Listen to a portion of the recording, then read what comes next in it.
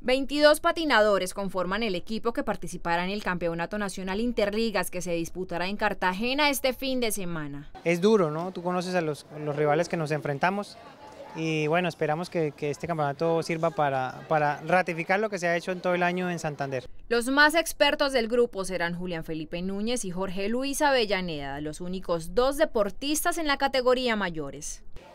Hemos entrenado lo suficiente y pues esperamos estar a la altura de la gente que, que, que está entrenando también afuera de los demás departamentos y, y poder el, el zarpazo final para que también se den cuenta que Santander está ahí presente. El evento servirá como última cita para aquellos que quieran llegar al preselectivo y cumplir su sueño de integrar la selección Colombia. Sí, ese es el sueño desde, desde pequeña y pues hasta el momento digamos que la preparación se ha dado. En el Interligas quedará prácticamente definido el grupo por Santander que irá al campeonato selectivo con el objetivo de buscar un cupo en la tricolor que representará al país en el campeonato mundial que se disputará en Argentina.